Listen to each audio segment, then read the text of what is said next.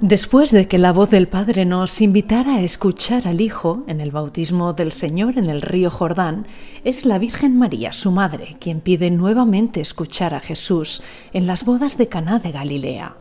Cuando se acaba el vino, dice a los sirvientes: Haced lo que Él os diga. El 14 de enero, la iglesia dedicada al primer milagro llamada Cafar Caná en el pueblo de Caná en Galilea recordó el momento que Jesús convirtió el agua en vino. Hoy desde Cana de Galilea nuestro mensaje es que todos los maridos, esposas, padres y madres puedan seguir el ejemplo de la Sagrada Familia y construir su vida sobre la fe, el amor y la esperanza.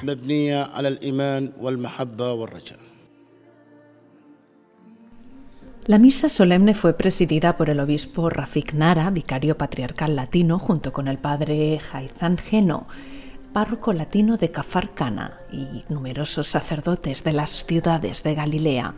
Los fieles también participaron con entusiasmo en la celebración.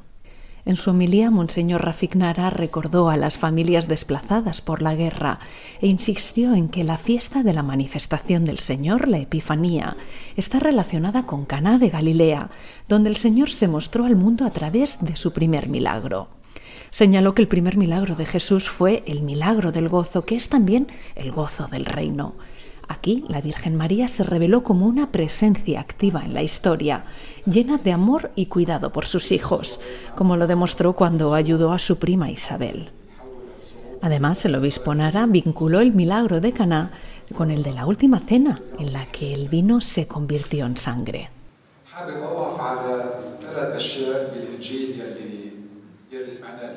En la última cena, Jesús entregó su sangre a los demás como signo de amor y sacrificio.